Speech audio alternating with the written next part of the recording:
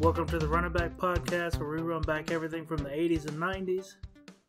I'm Jason, I'm Sarah. and today we are running back Batman from 1989. Where do you want to start? Uh, it had a budget of thirty-five million dollars. How do you think it did? I would say at least doubled. It was the fastest ever to a hundred million dollars. It did a hundred million dollars in eleven days. Is the it was the fifth highest grossing film at the time, and while it was in theaters, it ended up grossing four hundred and eleven point five million dollars. Is this 1989 dollars? Yeah. They tapped into that comic book fanboy market. I reckon in North America it did 251.2 million and internationally another 160.15 million. But that was from the box office. At that time, it was in the box office. It came out in June of 89 and it didn't leave the box office, the theaters until December. So it was in theaters for 7 months. That explains why I saw it in a rinky dink movie theater in our hometown Yeah, apparently. that no longer exists. Right. But it's kind of funny because the movie opens up and you know, opening credits, and in the middle of one of those it says based on stories from magazines published by DC Comics Incorporated. Magazines. It seems like they went out of their way to avoid the word comics when they could. Hmm. Well, Even though even though those comic boy or comic fanboys showed up to come see this fucking movie. I guess it was a different time. You wanted to get as many people as you could, and not as many people were into comics at the time. I feel like more people I feel like it's more widespread now. but a lot of people have this Thanks to Marvel. A lot of people have a comic book people are hoarder hoarder nerds. I'm just gonna cut out just you saying that. Hoarder nerds. Just comic book people are hoarder nerds, and see if I can't get you that hate mail you want so bad. Uh yeah, it's not gonna happen for a while. So Michael Keaton is Batman, Bruce Wayne, and a whole bunch of other people wanted to be Batman and were thought of for Batman. And most of them are normal. Mel Gibson, Kevin Costner, Willem Dafoe, Tom Selleck, Harrison Ford, Charlie Sheen, Ray Liotta, Pierce Brosnan. Here's one real out of left field for you though. They considered Bill Murray to be Batman. That'd be a whole different Batman movie, wouldn't it? It does f- seem like it would feel a little bit different. Yeah, like real weird. Now, apparently, they didn't want Michael Keaton either because he was only known for comedy and they didn't think he could do it. And Tim Burton really went to bat for him. He really wanted him. He said that he's the kind of person that would have to dress up as a bat in order to scare criminals. That if you put True. that if you put you know some muscle bound action star in the suit it just becomes comical but if you put this mild mannered guy like michael keaton in the bat suit he can actually be scary It's kind of the way t- uh, Robert Downey Jr. works. Robert Downey Jr. works as Iron Man. Because by himself, he's he's not very big, right not very intimidating. mm-hmm. But I Yeah. could see that. yeah so while we're just talking about casting controversies they had a bunch of people lined up for the joker as well apparently willem dafoe was like if i can't be batman i'm going to be joker I could no, I couldn't see him as Batman, but I could I see, see him him as as Joker. Joker. James Woods, David Bowie, and Robin Williams, who really, really wanted it. Robin, Robin Williams, Williams would have made a good Joker. Wanted it. And they announced that Robin Williams got it and was going to be Joker. But he never was gonna. It was just to pressure Jack Nicholson into saying yes. And when Robin Williams found out he was never actually up for it and they just used him, he refused to be in any Warner Brother movies ever until they formally apologized. And they wanted him to be the Riddler in the sequel, and he wouldn't do it because they hadn't apologized to him. for using him. Now, as we I can't really see him as the Riddler. me either. But as we learned in Aladdin, a lot of people like to really fuck over Robin Williams, and he really holds a grudge. As he should. I'm not saying he shouldn't. I'm just saying it will be remembered. I could see I think could see him as Joker. I think Willem Dafoe would have made a Willem good Dafoe Joker. He looks already fucking looks like the Joker. The little smile and the lines and the cheeks. Got any other historical Um, tidbits? Just one. So like in the modern day, like the Dark Knight trilogy, Gotham was just Pittsburgh. Just used Pittsburgh. They built Gotham City on a lot somewhere. It cost five million dollars. Like they built this fucking city. Like kind of just like the facades, the streets, and Yeah, all that. but I mean, you know, not like a miniature version. Like they built the goddamn city. Now, when you before we watched it this time, do you remember there being as much animation? Like it's very subtle. It's usually in dark parts of the screen. The searchlights sometimes were animated when they're up on the top of the cathedral. The when one of Joker's henchmen falls down the stairwell, he falls until a certain point, and then you could, if you look in closely, you can kind of tell it turns into like an animated shadow. When you say animated, do you mean like a computer or CGI kind No, no, of no, no, no, thing, no, or no, like no. somebody drew it? Animated. CGI would have looked better. Or actually, CGI might have looked worse at this point. But it was always a very dark part of the screen to, to kind of shade that. that. I- As we're talking about it, as normal, we got the movie on mute in the background. We've already seen it. Um, but just kind of pay attention. I There's, there's a few few spots. All right, you want to get into the movie? I'm out of pre pre facts. You got a prefax? Yeah, I got more coming though. I'm locked and loaded. yes, so many jokes. yeah, you're out of pre cum, but you got more in the chamber. yeah, I'm ready to go.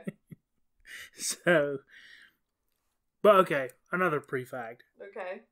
So in the beginning of the opening credits, somewhere through there, you know, music written and performed by Prince. hmm The entire I- goddamn soundtrack. Yeah, but I was always thinking that they were Prince songs already. They were not. No.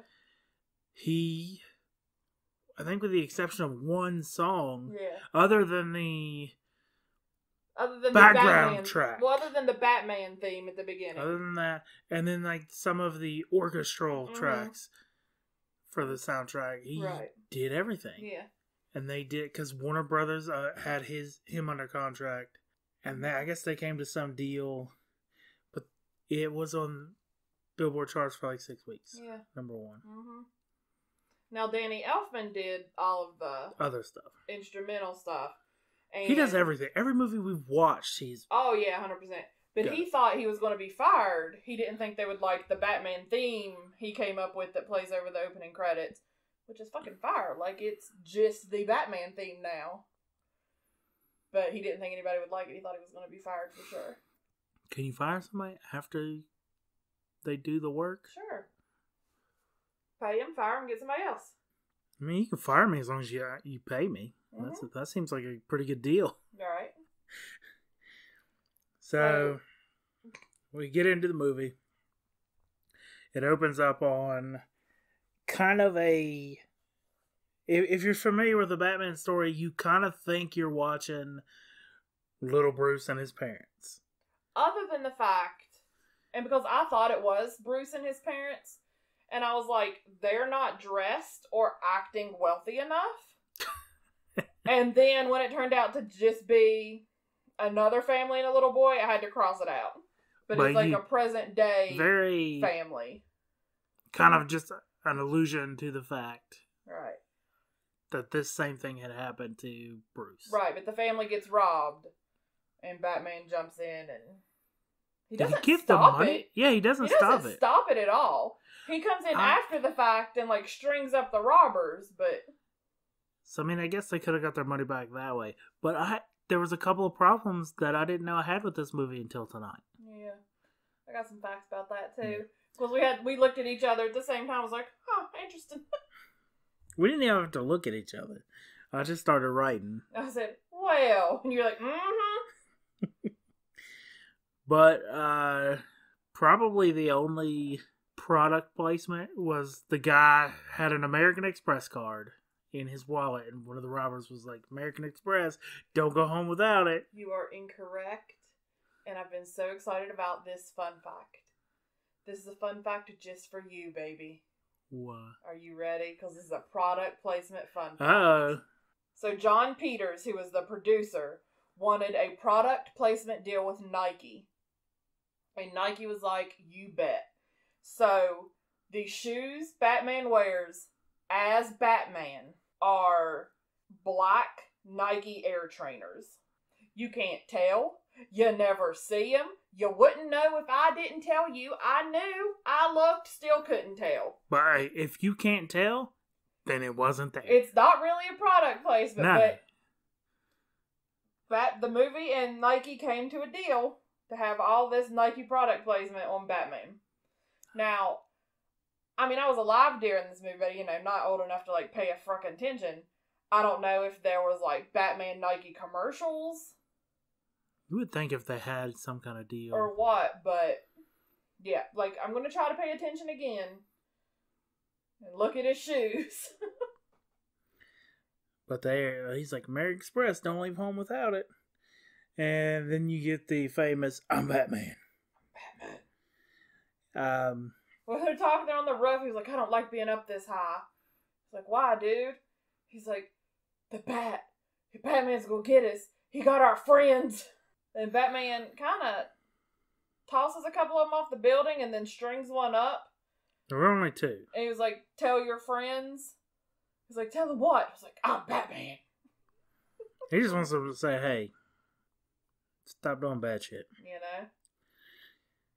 Uh, then you, you meet Jack, who turns out to be First, you meet Harvey Dent. Lando Calrissian.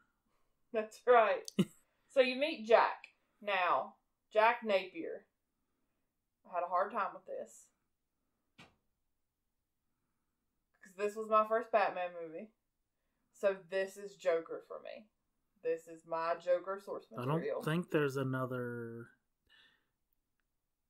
There's something that has him as Arthur, right? In the new Joker movie, he's Arthur. Arthur Fleck. Arthur Fleck. Okay. But I went back and looked. I asked people who are more knowledgeable about it than me. He's he doesn't have a name in the comic books. They never name him. Um, they came up with Jack Napier after Alan Napier, who played Alfred in the 1960 TV show. But I like that show. Jack Napier and his his origin story and all that is is my my Joker. And when they change it, it hurts my feelings. My Joker's Heath Ledger. No, see, in Batman Begins, when somebody else killed Bruce Wayne's parents, I was offended. And I know that somebody else killed Bruce Wayne's parents in the comic books. I looked that up too. I'm just saying. This was my source material, it's what I clung to. Well, most people do. Whatever the first, like the first, whatever Doctor Who episodes you first start watching, if you end up liking it, Mm-hmm. that becomes Your doctor. your doctor. Right. I don't When know I- if that's true about you, though. It.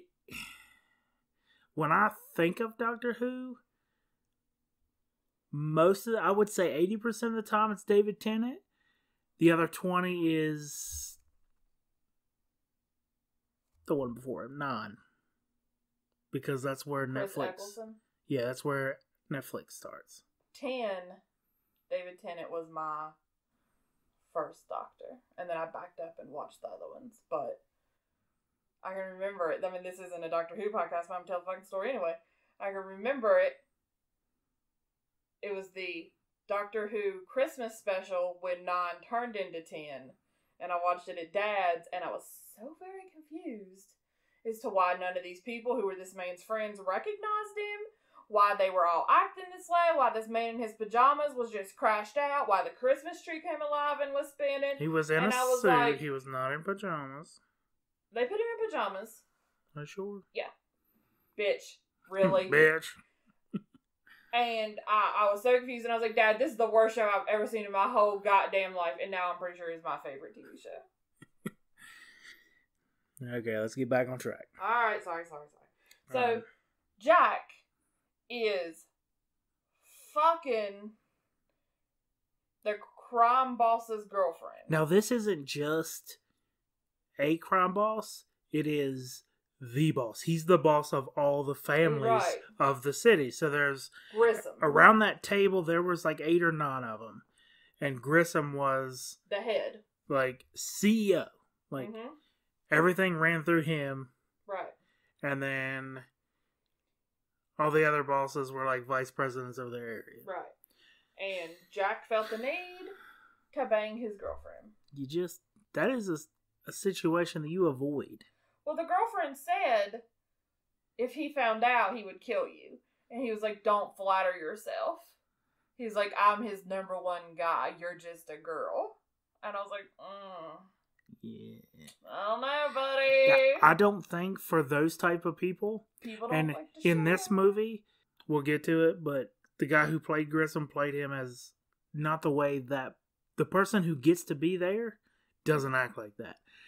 He would have killed Jack for the simple fact that he took something that wasn't his. It, it wouldn't have been about the girl, his girlfriend or wife, whatever she was. It would have been about that was my property and you disobeyed me. It's about it's a power struggle. It's, it has Right. nothing to do with that. Yeah. So yeah, he's uh doing the dirty with her. Yeah. And, then he doesn't even treat her well either. So I don't even know why he's with she's with him. She's like, he's like fixing himself in the mirror, and she puts her hand on his shoulder. Was like, "You look great." He was like, "I didn't ask you," and then looks at her hand until she moves it, and then just looks at her in disgust. Like, I think he's just doing it for the thrill of being able to do it. The forbidden he's- fruit. Like he's got some shit to prove. yep. Yeah. So then you meet Vicki Vale. Is it Kim Basinger? Nope. Yep. E40. Everybody got choices. So she's a just hot blonde photographer lady. She Oh, she st- she was in the newsroom she when at the newsroom to see Knox because he's been investigating this Batman story. Knox is- Nobody believes him. Is it Alexander Knox? And yeah, I have no idea. I think they just. I think it's Alexander Knox. But he is a reporter for the Gotham newspaper. Uh-huh. He is trying to figure out like he's heard the rumors of the bat, the Batman. He's piecing it together. He he thinks it's real. Everybody else is making fun of him for it. But she, shows up. him. She's a photographer. Um She says with her photos and his story, they could win a Pulitzer. yeah. Well, he he initially thought somebody set him up because she's gorgeous and Believes him. said something about Batman, and nobody else in the whole building believes him. yeah. So they come up with a plan to.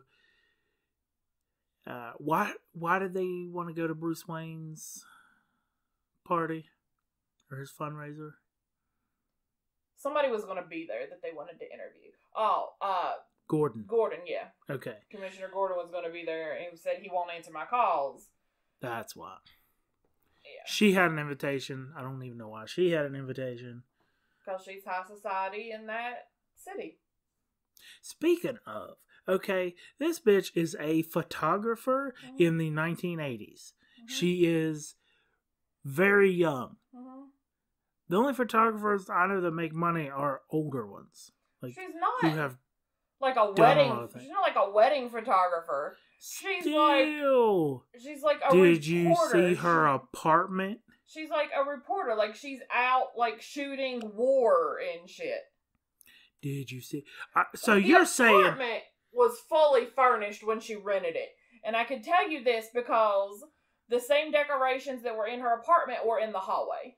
Still that apartment had like 20 foot high ceilings. So she had money. That's like what is she like the Anderson Cooper of this movie? She Okay, well, old if money. we're gonna go with this money struggle here, later when Batman Bruce Wayne digs up shit about his parents, the clipping says prominent doctor and wife slain. Bitch, you I, I know doctors. I'm friends with doctors. None of them have that fucking What if- mansion. What if they didn't mean physician? What if they just meant What, doctor of money? pretty much? Like in all the other movies, he's always been like this, like tycoon into like industry and property and real estate. like He's never been a goddamn doctor. I think just in 1989, doctor was like the highest they could go, and they were He like, "Let's make him a doctor." I would say most people could relate to Tony Stark's father, Howard Stark. Had a lot. It was in a lot of shit, and then had the secret research and development Right, that you don't really know about until later. right. I just I can't buy a doctor. Anyway, But okay, so Grissom knows what's up with Jack, and what's the girl's name? Alicia? Alicia. And they they're worried about Harvey Dent connecting them with this chemical plant uh, that is going to kind of take down their whole criminal enterprise. Right. So they're coming up like, what should they do? Blah blah blah. Well, Jack has a good idea. It's like he was like, why don't we just tear up the place, take all the records, and just say it was corporate espionage and they they were trying to steal from us. Um, or Axis Chemicals would say that. Right. And he's like, you know what? That's a good idea. And I guess he got in his mind, like, I want you to personally do it because he's going to set, you can tell from the get go, he's setting Jack up for something. Mm-hmm. Jack leaves. He actually kind of protests. He's like, you can have somebody else do this. And he was like, no, I want you personally to oversee. it. You're my number one guy. whatever. Right. So, As soon as he leaves, he calls this Lieutenant Eckard, Eckhart, whatever, Dirty Cop. who you've already seen in the movie. Jack was paying him off, was delivering money from Grissom, and tells him, you know, this is where he's gonna be, this is what you want you to do. So when Jack goes to the chemical plant to rob it, they break into the safe, nothing's there, and they're like immediately, we've been set up, and they're trying to get out, and Napier or Eckert. Lieutenant Eckard shows up with all these cops who he's like showing all the cops. He's like, "This is the guy. Shoot to kill." Yeah, because they, they just want him dead. Right. So he knows he's set up, and the cops come running in. And Jack just fucking starts pushing buttons and pulling levers and turning valves. Gets an axe and like starts slamming into vats that say "caution, do not touch." and I guess you could you could argue that he knew what he was doing, but it definitely looked like he didn't know what he was doing. He looked like a toddler with a Fisher Price button set, just Mhm. pounding away. Oh, he didn't know what he was doing. But you could argue that he was turning everything on to spill stuff and create distractions and obstacles for other people to get in the way. But in the Um, meantime, Police Chief Gordon has found out about what's going on. He's at Wayne's fundraiser, which we'll just circle back to in a minute. oh, I was kidding. um he finds out about it and he takes off and goes and he was like absolutely nobody shoot at him. I want him alive. If you if i see a single person shoot at him you'll have me to answer to. But that doesn't seem to stop the cops. Like they're still hardcore trying to shoot him. Yeah, it's open firing range inside this chemical yeah plant. it seems bad all the way around. Like you go to a chemical plant, mm, I would say ninety percent of those things are flammable, flammable. It yeah may not be highly flammable, which i have a point about here in a second but they are at least a little flammable. Yeah. But Batman comes, he sees Gordon leave his party, so he kind of follows him.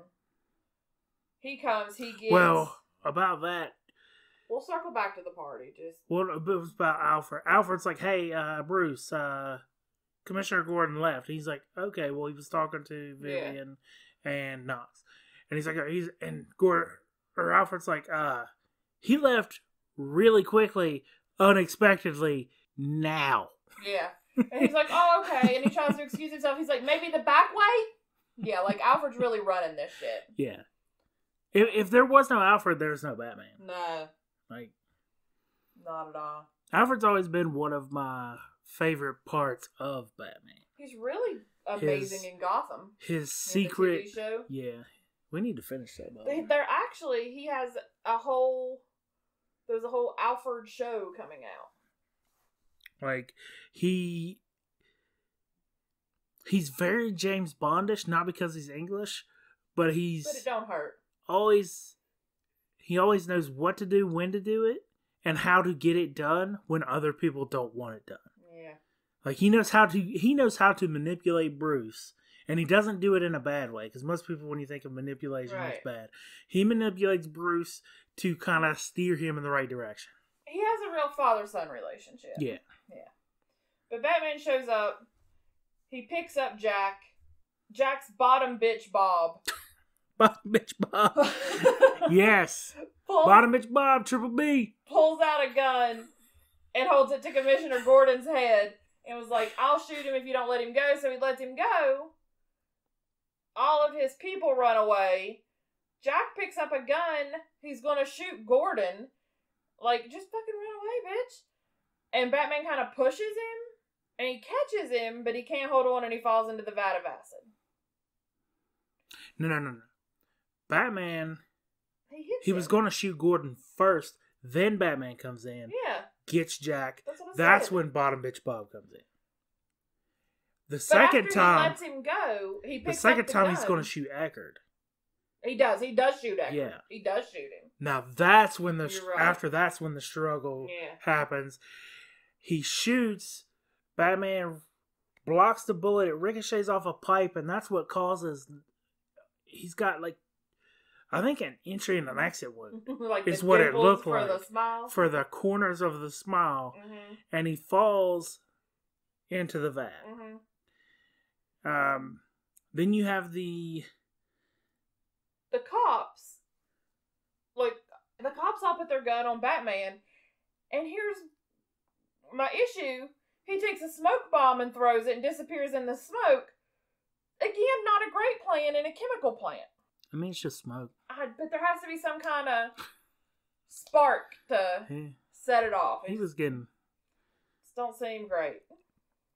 So you have the to finish up that part of the the scene. hmm They keep going back and forth a little bit. You have the 1980s horror hand out of the drain, Yeah. the drainways out of the chemical plant into the river or whatever it was draining into, and you can see his skin's all white and his nails are green, and he's just holding it there like crooked, like Jason popping up out of the ground. hmm All right. Do you want to talk about right, Bruce let's go Wayne's back fundraiser? to Bruce Wayne's fundraiser. So, Vivian, Vicki. Vicki Vale. I called her Vivian earlier. I love so much that you refuse to get anybody's name right. Hey. Bottom Bitch Bob is always Bottom Bitch Bob for now on. I was That was a good one. That was a good I was one. very proud of my alliteration. Now, did you come up with that while your notes? Mm-hmm. Or, or okay, Yeah. so It's on page three. Vicki Vale and Knox are at the party. You can tell they're they're looking for Bruce. Yeah, Knox is real out of place. Yeah, He tips Alfred. yeah. A it's kind of weird. Um, so Vicki pats some guy on the shoulder. He turns around. She's like, "Hey, can you tell me which one of these guys is Bruce Wayne?" And it is Bruce. And he was like, "Yeah, I'm. I'm not really sure." And it, it- Bruce just kind of watches her, and then she beats back up with Knox, and they end up going to this. It's like a weapons collection, armor collection, which the armor part kind of does make sense for Bruce Wayne and Batman. Right. He had all these different sets of armor. But One of them I don't know was real. They seemed like from different places in the world and different time periods and That one that looked like a matchstick nose. I want to know where that one was from. I wondered if some of them, because some of them look real hokey. I wondered if some of them were like throwback, throwback to comic book characters or something. Could have been. Maybe not comic book Because that one had like a gas mask looking thing and like a hose wrapped around it, and I'm, that's what made me wonder. So, but the funny part is Bruce Wayne kind of follows behind him, and they're just kind of talking shit. They like- talk mad shit. and he he's just kind of just keeping pace with him, and he's you can tell he's he's infatuated with Vicki, So one of them ends up looking at like the one of the samurais. Mm-hmm. Um, Knox says something. He was like, "Actually, it's from Japan." He was like, "How do you know?" It was like because I I bought bought it it in Japan. Japan. So then they meet Bruce Wayne. They figure out who he is. He said, "Hi, I'm Bruce Wayne," and she said, "Really? Are you sure?" He's like, "This time." yeah. So that's when Gordon comes in and kind of No, Alfred. Alfred comes in and lets him know about Commissioner Gordon. Knox straight up says, "Oh, you're Bruce Wayne. Can I have a grand?" Grant. I couldn't tell if he said Grant or Grand. I thought it was Grant, but then at the end when Bruce Wayne says it, I thought he said Grant. He wanted a grant so that he could use the money to research writing, whatever he wanted. yeah. So, but But Alfred comes in and he's like, okay, they need champagne and this needs to happen and wine and give him his grant and do this and do that. yeah, well, one of them he was like. Miss So and So needs to see a menu, blah blah blah, Uh-huh. and that's when you learn like, at least in this movie, Bruce is not like some little rich asshole. Like he, he's very attentive to his guests and making sure they have what they need. But he leaves and there's like a two way mirror they're looking at and they're still just talking shit about him. Like, he just gave you a bunch of money. They're still just talking shit about him. All right, so after all this nonsense, Oh, nonsense, Here's my issue. I don't know that this is 1989. There's no internet, but she's a photographer. You know, she knows other photographers. She knows news outlets, newspapers. The dude works for the newspaper. Bruce Wayne is a prominent figure in Gotham. Have there been no pictures published of him in the newspaper? Because she has no idea who Bruce Wayne is. She asked Bruce Wayne who Bruce Wayne is. Like, fucking flaw. They had to have seen a picture of Bruce Wayne at some point. He had to have been in the news. she was a visitor to Gotham. Though. Still, Knox should have known who he was. They all should have known who he was because Knox didn't know either when he snuck up behind him. True, but you could argue that in at least in this movie, Bruce is kind of, More aloof. I get that. but he's he's But at not some point, he's not making speeches and he's not out in front of But people. at some point, he's donated money to something, some kind of charity fund, like this twentieth or two hundredth cel- anniversary celebration of Gotham fundraiser is enough to get his picture in the newspaper. So, That Knox works for. I just find it ridiculous. Sorry. but in this, not so much in the other Batman movies, because you see a lot of his fundraiser work. He's up in front of the crowd giving a speech, you know, Uh, give money for this and that. This one, Bruce seems more like the laid back kind of like everybody knows of Bruce Wayne, but nobody knows who Bruce Wayne is. I guess.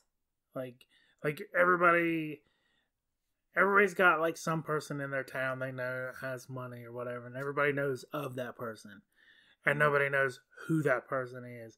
And chances are they've probably talked to that person if it's a small enough place, and just didn't fucking know it. Fair enough, I guess. Um, so that's when Batman goes to the chemical plant, all that shit we already talked about. Yeah. So then we go to Vicki Vale has a date with Bruce Wayne. she comes over for dinner in her little Chevy hatchback to this mansion and has dinner with Bruce at a 30 foot long dinner table and Bruce decided to set them the opposite of the long way. They're like yelling at each other. And she's like, "Hey!"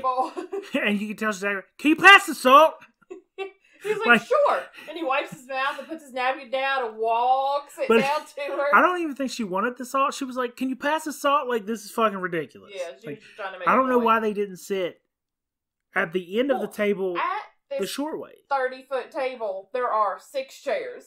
There are two at the, like one on each end and then four in the middle. I think. I- Do you think rich people need a lot of elbow room? Like, do you think they they're not really dainty like everybody thinks they oh, are, and they just fucking go at it like wolves? Maybe.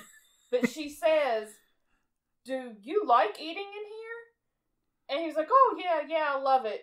Actually, I don't know that I've ever been in this room. He was like, Do you want to get out of here? And they go eat in the kitchen with Alfred. Yeah. Well, it's just like a much more like comforting normal- place. Yeah, yeah. First date or any date, that dining room was going to make somebody very uncomfortable. Yeah. Also, in his small talk while they're still at the long table, he asked if she had any trouble finding the house. Like, motherfucker, this is her second time there in two days. Now, I'm pretty sure she knew how to get there. Also, it's the fucking lone mansion in this fucking dilapidated city. It's like you see that mountain that actually is a, a house that does not resemble a mountain at all. You're like, yeah, like just go in that direction. yeah, you know, where you were yesterday.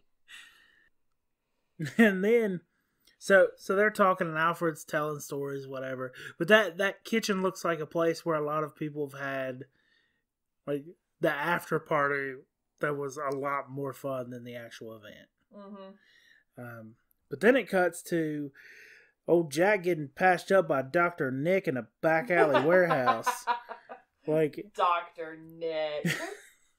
i don't know what insurance plan jack had but uh well, his hmo is shit he had he had to go somewhere where the police wouldn't find him because he's presumed dead. Um, so old Doctor Nick does what he can, and you get like he's all banded. Jack's all bandaged up, his hands, his head, but he has a suit on. hmm The chemical plant has turned to suit purple, but his skin has turned white, and he's got the uh the smile. So he gets unbandaged. He asks for a mirror, and the doc's trying to explain. He's like, "Look, listen. The nerve, the nerves were dead. They were completely severed. Blah blah blah." Jack sees his face and he starts just laughing uncontrollably, and that's like the the moment he starts to go insane. Yeah. I'm very impressed he didn't kill the doctor. Yeah, But his first stop is to his old pal, Grissom. Grissom. He's like, You set me up over a woman. Yeah. And this is where I said like he doesn't act like he's all nervous and shaky. Like if you're if you're in that position and he's obviously an older guy, Mhm. you've lived that long, you either you're going to fight with no hesitation Well, he tries to get to his gun. or you're going to but on the the reason he doesn't get to his gun is cuz the way he was Yeah. trembling and shivering And like those Jack people aren't scared to die. Jack was like, There's not even a point. And he just stops. Like, I'd have fucking attempted there to be a point. Yeah. But if I think at that point he still has a chance. But most people in those situations, when they know they don't have a chance, like um, Marlo, when Marlo Stanfield come to Prop Joe's house, Prop and as soon as he saw Marlo, Mhm. he knew it was done. Like he knew he had no chance, so he he didn't tremble, he didn't shake, he didn't cry about it. He that's how that man would have acted. I thought it was weird that he was all nervous and twitchy. Well, he wasn't just being killed. He was being killed by this fucking goddamn clown. Maybe he was just scared of He clowns. was still pretty dark. Well, He he, says, didn't really- Jack, and Jack steps out of the shadows, and he was like, "Jack is dead. You can call me the Joker. As you can see, I'm a lot happier." I was disappointed he still uh, didn't have his cards with him after that. Well, his lucky deck that he's playing with, the Joker has a bullet hole through it. So I'm assuming it stopped a bullet at some point, but I kind of wanted a backstory to that. But no, whatever. So Jack kills Grissom in the wildest um look like one of those drunk redneck shooting videos where he's just like putting it behind his back and between his legs and over like over his face and around his He's doing neck. trick shots. Uh, Meanwhile, old Bruce got lucky. yeah, and Alfred is not a good wingman. Uh, well, he didn't read like she was like she asked Bruce Vicki asked Bruce to the come morning to lunch, after, to come to lunch. She wanted to show him some pictures, whatever. Uh, to at her apartment. She was like, he was like, wait, I can't do that. Then she was like, all right, what about dinner? He's like, no, I can't. I can't do it today. hmm He's like, um. He throws out. I'm. I'm leaving town for. a first he couple had a meeting, and then he was going to go out of town for a few days. Yeah. So she's like, okay, I'll see you when I get back. And she walks downstairs and she tells Alfred, You know, it was nice meeting you. I'll see you when you get back. And he was like, What? We're going to be here for quite some time. And she's like, Oh, really now? But Alfred, like any other dude, would have been like, just like, okay, thank you. I don't think it's limited to a dude. I think Any other person. any other person, like,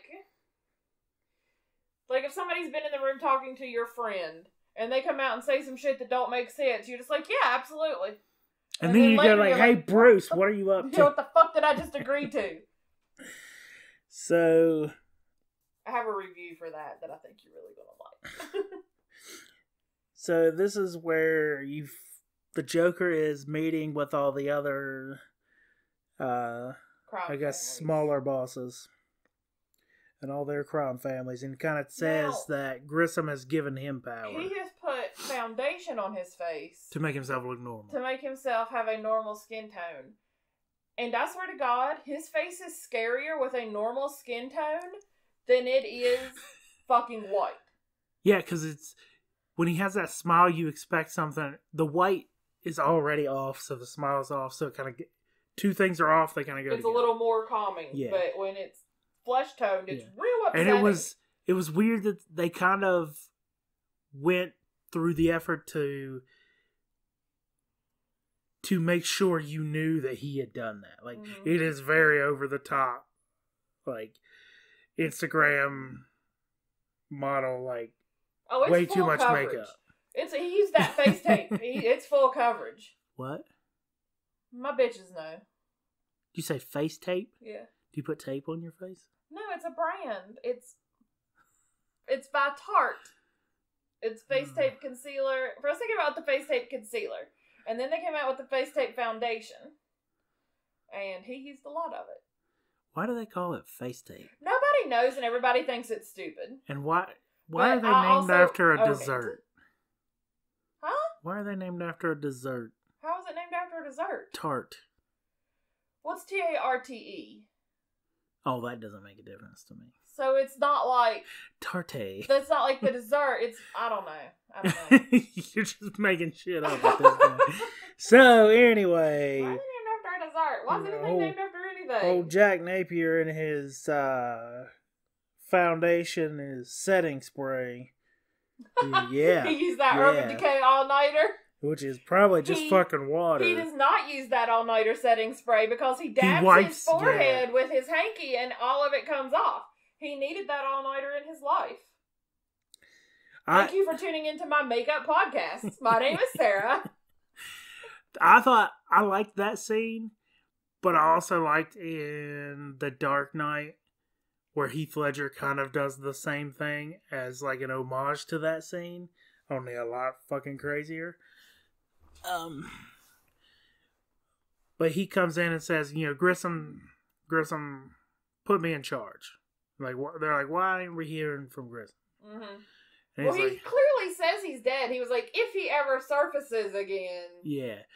Uh, and one guy's like, well, what if we don't want to agree to it? And he's like, well, I nobody wants a war. We'll just shake hands, blah, blah, blah. And he shakes his hand. He has one of those buzzers, which apparently has the largest amount of electricity in it per, per It- little area. It was not a joy buzzer. It was a. I had a problem, though. Skin doesn't melt before clothes catch on fire. Well, this thing has a lot of physics problems, if you ask me. Yeah. But he used him as an example. Everybody else kind of just falls in line. But to make sure all those people fall in line, as all this happens, old Bottom Bitch Bob and his goons come in just to make sure everybody is Mhm. orderly. They come in with the biggest guns right in people's face. He makes a deal with them and they leave. And he's talking to the guy he fried. And he was like, You think I should give him a chance or you think I should go ahead and kill him now? Go ahead and kill him all now? Boy, you're an evil son of a bitch. I'm glad you're dead. Yeah, he. Uh... so after that, um, Vicky Vale follows Bruce Wayne. Well, she goes to the newspaper and she's looking for his file. And he has a file, but there's like nothing in it. no pictures, no articles, which again I think No, no, is no. bullshit. She followed him first, then went to. no. I promise, I have it down. There's no photos or info info about him in the file, so she just starts following him. She follows him. He has the flowers. She follows him around the corner. And he lays the flowers where, spoiler alert, his parents were murdered. Um, she continues to follow him. They go to City Hall, where all the mobsters are on the front steps Let's having a damn press back. conference. Back to the flowers. Okay. You're following some dude. hmm He comes to a place. He has a very solemn few moments. He lays roses down on the ground, has another couple moments of silence, does whatever he does, and he walks away. hmm Do you pick up the fucking flowers and look at them? Well, she was No. investigating. No. Disrespectful bitch. she was investigating. She Disrespectful. didn't take them with her. But she still like I wouldn't. You don't like see somebody down in the cemetery like oh they put flowers and you pick them up and kind of look at them like huh and then put them back. Like even though you put them back, it it's disrespectful. So anyway, she lightly touches these flowers, which apparently made you mad. And then she follows him to City Hall, where the mobsters are all having a press conference about how this guy's going to take over all of Grissom's business. So he was the guy sitting the opposite end of the Joker when they were up there. Now I guess the Joker was in on this whole or knew about this whole coup they were planning. Right. because he has moms everywhere. Bottom Yeah, bitch Bob. Killer moms. Uh, he strolls up and jabs a quill right into that dude's neck. Well, Knox is asking questions, and he was like, How can this be verified? And the Joker comes up and he was like, I can verify it. I saw the whole thing. Grissom rose up from the grave and signed his name in blood. This is the pen he used. And it was like this Joker collared quill, and he just kind of darts it through this dude's neck, and then all of the moms open fire. Everybody hits the deck except for Bruce Wayne, who's just standing there all hardcore and shit. Which is Vicki Vale's first indication that this man might not be okay. He was. It took me a second to realize that it was. He was in disbelief because he thought Jack was dead, and he is. He was. He recognized him, mm-hmm. and he follows him to the car in disbelief. And at the car, he realizes like he's got a hundred percent Yeah. ID on this guy, so he knows he's still alive. Right. Which is when poor Vicki Vale runs up to him and is like, Bruce, and grabs him, and he just turns around and walks the fuck away. Which wasn't a commentary on her. He was just so Kind of in a trance. confused like- at everything that just happened and that this guy he killed was alive. oh, so back to back to Bottom Bitch Bob huh. and the Joker. Uh huh. So the time you don't really know the time frame of falling into the vat versus this little shindig, but the at most the day before this press conference happened, he tells Bottom Bitch Bob to go to the newspaper, look up Knox and Vicki Vale, figure To out what him. to see what he they know, know about. Vicki Vale. He knows He- that she's a he photographer. tells her to follow Knox. Oh, Bottom bitch Bob finds out about Vicki And Vale. he takes she's a picture of her, and the Joker is infatuated with her. So, Bottom bitch Bob is taking pictures there. hmm But in the meeting, if you can call a two person thing a meeting, where he tells Bottom bitch Bob to go go figure out what Knox knows about the bat.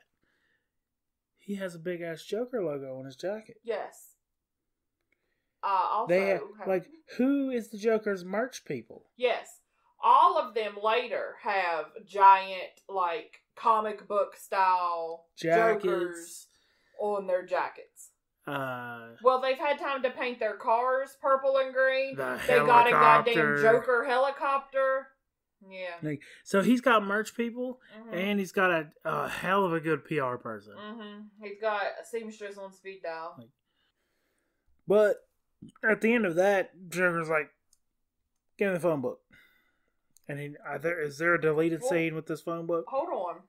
Joker's at home watching the news of what happened at City Hall, and they're blaming Batman. And he gets mad, and he's like, he like punches out the TV. He's like, how does he get all of my news, all of my press clippings? He's like, this town needs an enema. Then, bottom bitch Bob shows him the pictures of Vicki Vale. And he says, get me the phone book because he's going to look up her number. Oh, And okay. as Bruce Wayne schedule a date at the museum because she calls Alfred and leaves a message saying she's going to be 10 minutes late to the museum. He calls Bruce Wayne and tells him, and he's like, Oh, okay, wait, I'm not supposed to meet her there. So then it cuts to the action news broadcast, and there's they start talking about these two models that have died, and they died Stop. of this. We have got to talk about what this bitch is wearing. She has on a blazer that has the biggest lapels I've ever seen in my life. It's like 1970s style giant lapels, but like 1980s shoulder pads on steroids. Like, It could have fit Lawrence Taylor, which is the Bennett brothers with the tiny little shoulder pads? Michael Bennett. Michael Bennett's shoulder pads are smaller than than the shoulder pads she's wearing in her blazer. I'm convinced that he ta he does not wear the outer shell. He wears like the practice shoulder pads for like the non-contact drills. I don't even know. But her shoulder pads, like she could go out on the football field right now and be perfectly protected. Okay, sorry. Go ahead. So she um They're talking about all these women that have talked died. about the two models that died of some kind of anaphylactic allergic reaction. Mhm. Uh, they both have the smiles on their face.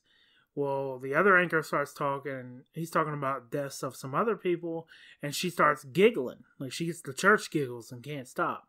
She falls out of her chair. She's just laying there with the the Joker smile. Right. And then the Joker cuts into the news broadcast and starts talking about how there's a new ingredient called Smiley. And it's in all of your products, and you probably already own it. So the Joker sets up Vicki Vale. Like you mentioned, she had called Bruce.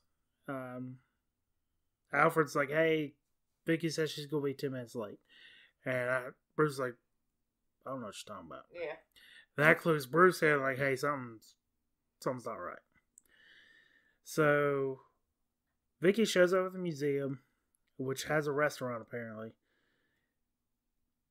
Goes to the table, waits for a long time. She gets a present that is marked urgent in crayon, in red crayon. Yes. Tim Burton wrote the notes on the present. He wrote the urgent and the put this on right now. Um, Even though it looks like a five year old did it. Probably wanted it to look that way. Mm. So It's a she kind of looks around a little bit, sees people falling out, passing Mhm. out. So she holds the mask. right. I don't even think you said that she opened it and that it was a bright orange gas mask. Maybe not. Yeah. But you said put this on. Still. So Joker shows up. He's defacing all this artwork, breaking shit. Um, shows up with his boombox Jamming out the prince. uh, to almost kind of recruit her a little bit, or to, as the old folks would say, court her. Woo. He's wooing her. I love all of Joker's henchmen. Like, we've watched a fair amount of the 1960 Batman show with Dad, Yeah. and the Joker always just has his henchmen with just the shirts that sometimes will say like random names on them, and sometimes they just say henchmen. Yeah. so Vicki gets a little freaked out by his art project on Alicia, which looks like she's Well- just tossed acid in her face. We should say that he is again got the shape tape on. He's got his foundation on, so he looks like a human. Terrifying human. He tells her that he is the world's first fully functioning homicidal artist. And then he brings in Alicia, and she's wearing a mask, and she's like, "Why does she have on the mask?" He was like, "Well, she's my first project. She's kind of a rough sketch." And he she takes the mask off, and he's like acided half of her face, but she's also clearly on something. Yeah, she's very sedated. Yeah, she's she's fucked up. He gets her up against this pillar, and he's like, "Take a whiff of my my flower," and she ducks as he tries to spray acid in her face. And here's my whole issue with her. She gets away. She throws water on his face. He pretends like it hurts, and he's melting. And she's gonna help. I'd have kicked him in his nuts. Instead of running or finishing the job, she's like, "Oh no, oh no, let me help you." She's like holding him and patting his back, like, "The fuck are you doing, bitch?" And then Batman comes like to he the tried window. to just acid your face. Like if it really hurt him, good, hurt him some more. If it didn't, let's Baker get away and run. See, I had a problem with her trying to help him because he's obviously a psychopath, and she should not have tried to help. No. Uh, so Batman comes to the rescue because of that whole message. So he knew where she was going to be. He knew something was wrong. He breaks through the skylight, zip lines her up, gets her outside. He's like, he tells her to get in the car, and you see the Batmobile for the first time. Now the Batmobile Is the most con- conspicuous car that anybody has ever seen. I feel like, and I've always felt this way, Batman would not drive that car. Why do you hate fun? I don't hate fun. he needs something fast. He needs something fast, but I think if there was a real life Bruce Wayne, had all the money in the world, he would have more like the James Bond car. He would drive a Tesla. He would drive a Tesla. He, speaking of, we'll get to that in a minute. I'm just saying. I know Bruce Wayne. He drives a fucking Tesla. Anyway, I feel like Elon Musk was a fan of Batman because Batmobile has a summon feature. So, if there was a real Batman, he would have more of a James Bond type car that has a lot of things that pop out of it that are not normal. But when, if it was parked on the street, it would be one of those cars nobody messes with because it doesn't look like anything special. so does that mean that you don't care that this particular incarnation of the Batmobile was designed by Anton Furst and was built on an Impala chassis? No, it looks cool as shit though. I'm, I'm Okay. with that. I'm pretty I sure I like had a few of them. The Joker cars are all purple with the green top and they have Christmas lights in the back Yeah. window. but they have a high speed chase through the streets and just absolutely fuck up Gotham. So as Batman saves Vicki, is in the process of saving her. He, what would you call this right here? He grapples her up to this uh, scaffolding between these two buildings. he asks her how much she weighs. Yeah, And she's like, I don't know, about 108, I think. And then they get halfway up and stop. And he's like, God damn it, bitch. He's like, take the thing off my belt. don't let go. So she flies up, he drops down. He drops down as Joker henchman car pulls up, and they're kicking his ass. They shoot him a couple times, it hits the body armor. Now, she climbs up on the scaffolding, and as the henchmen are about to take his mask off, She's taking she pictures. takes the pictures and they see the flash. Now, option one, she did it to distract him and save his identity, or option two, she just wanted to know who he was and wanted a picture of him unmasked. Which do you think? Both. If, I think it was solely for herself. She wanted that picture. The distraction was purely coincidental. Yeah, I would like to think that she knew enough. Like she was a photographer, she knew enough about her camera and her flash that it would make a noise. The fly, the light would distract them. You'd like to think that, but I, it also didn't seem like she did it for that reason. Yeah, when they looked up and started shooting at her, she seemed real surprised. but they start shooting at her, and he gives him time to jump up and kick everybody's ass. And he gets her, and he's like, "You're a little heavier than 108." it's like, damn, bitch. So he summons the Batmobile, drives her to the Batcave, which is kind of risky itself. Like, Well, he had to, excuse me, he had to give her the list, the combination of which products you couldn't use with which products because in the meantime here, Gotham just hasn't been using any toiletry items, so everybody's stinky as shit. The news anchors look like they haven't had a bath in three days. Everybody's hair's crazy. They got acne all over them. So he needed a reporter to get out this list. it's kind of like a third world or a first world problem, right? Like, Being stinky? like that's the bougiest. This is the bougiest Batman problem that he had to solve. Like, okay, you people can take a bath now. I guess. So he gives her the file with all the combinations of stuff you said. right. He's, he wants her to take it to the press. She's like, "Why don't you take it to the press?" He says they won't believe me. Yeah. And he was like, "Oh well, you also have something else I want." hmm And then she wakes up in her apartment. Yeah, he drugged her, stuck his hand down her cleavage, and took the film that she had hid there. Because she wakes up and immediately goes for her boobs. She's like, oh, he took the film. To be fair, To be fair, it's not anything he hadn't seen before. well, I wasn't even going to go there. Like, it's to save his identity. It's not like he was rooting around in there to rape her. Right, well, also, she's been giving it up. She d- she He doesn't just- know that. He, he knows that. She was. Batman does not have consent. Bruce Wayne had consent. Maybe he took off his mask before he fucked her up. Oh, Um, God. so he gets the film, so he is protected, I guess. Mhm. The, she takes the stuff to the news. The news announces what combos not to use, and I have Joker is big mad. I don't remember what he did, but I have Joker big mad. So him and Alfred have a conversation. Alfred's like, Alfred really likes Vicki. It's like she's good for you.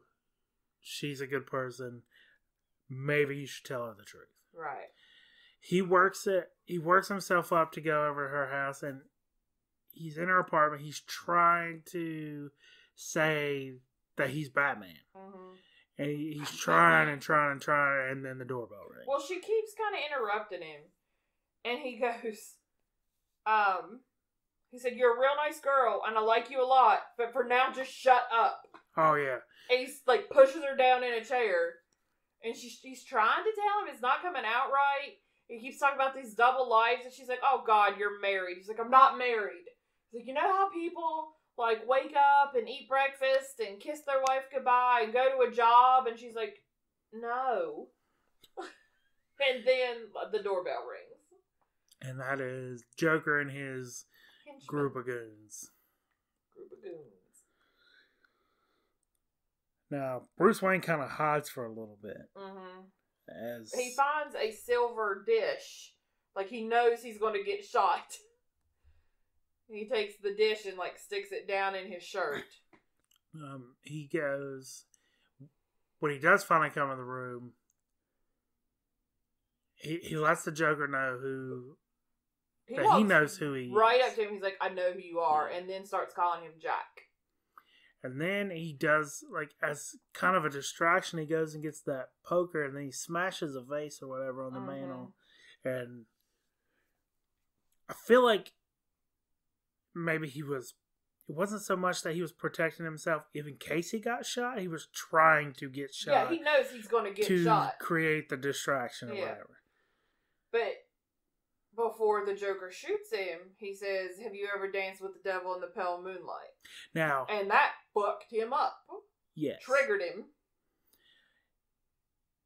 a little bit later when he has, you know, you could tell as soon as he said it, he was like, "What? What did you just say?" Yeah. And it, and it kind of He fucked with said, him. "Oh, it's just something I say to all my prey," and then he shoots him. So, a little bit further on, Bruce is he gets the file from his parents' murder, and he's he's trying to figure out like why he remembers this, and he's trying to trying trying, and finally he he has the flashback, and the guy says it, but in the flashback, either they said it wrong both times in the present, or the flashback guy said it wrong because in the flashback he says, "Have you ever danced in the, with the devil by the pale moonlight?" Mm. And I, and it sounded off to me because I've I've always said it the other the way. Yeah. Um, but and I was paying attention here, or no, at the very end of the movie, I was paying attention because I knew he said it again. Um, Huh. And I was weird. notice. I thought that was weird. Yeah, you think they'd have caught that? But so the Joker killed Bruce Wayne's parents. Yeah. Which I think I mentioned earlier because this was my first Joker. This is my first Batman movie. I I've always associated that being the case. Yeah, and when it wasn't the case in the Dark Knight trilogy, I know it's not the case in the comic books. Everybody chill out. But when it wasn't the case in Batman Returns, I was like, "What? Excuse me? This little street criminal that doesn't matter did not kill his family." Now, Batman Returns was just a sequel to this, right? I didn't say Batman Returns. I said the Dark Knight trilogy. You you did say Batman Returns just now. Well, I didn't mean to. So, the Joker decides to leave. Yeah, I mean, I guess at this point he shot somebody. Well, after he shoots him, he says, "You should never rub another man's another man's rhubarb," which I've never heard said. Now, if somebody said that to me, I wouldn't assume that the rhubarb was another man's girlfriend No. or significant other. I would assume that the other man's rhubarb was his penis. penis. Yeah, yeah, me too. I thought it was weird too. But the Joker leaves. Bruce Wayne has vanished.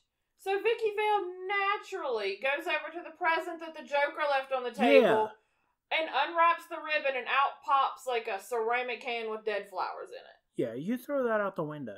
Yeah, why would you open that? Like, call Or the bomb squad, bitch. Even better, the Joker knows where you live. Just grab what you need and run. That's a solid point. If the Joker You leave that live- box. That that box has no business with you opening it. You Yeah. grab the stuff you need and you just go and you never come back. Yeah, the Joker knows where you live. You live in a hotel now. You go. You could call Alfred and be like, "I need you to get Bruce. I'm in like." Where did he go? Is he okay? And also, I'm gonna stay in one of your 137 rooms. Yeah. He'll never know I'm there. I know which room he never goes to. yeah. Yeah. Plum crazy. The Joker interrupts the press conference where they're canceling the bicentennial celebration. Mhm. Did I say that right? I've just been putting 200th celebration canceled, but sure. So, but that's not what the Joker wants. Right. And Joker wants where a lot of people in one place at This is where his time. PR team comes in because he's in like a chair, like Grandpa.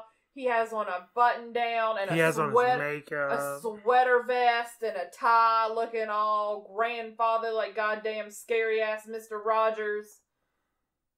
And he tells everybody that he can't let it be canceled. The party's on. I'm gonna foot the bill, and at midnight, I'm gonna drop twenty million dollars cash on the crowd to ensure everybody's there. I don't think he said I was going to foot the bill, but I think he just said that he was going to drop the twenty well, million he said cash. you know that he provided floats and balloons. he would provide entertainment. and yes. entertainment is going to be him versus Batman one on one. So obviously, when you say I'm gonna drop twenty million, if I hear that, my first instinct is like, I'm definitely going. And the very next second, I'm going. I am gonna be so far away from that fucking place Yeah, because that you're just gonna get trampled to death. yeah. Or, it's not like, a, it's not, not a good- idea. Not a good when- idea. Never underestimate the power of stupid people in large groups with money. with money. Yeah.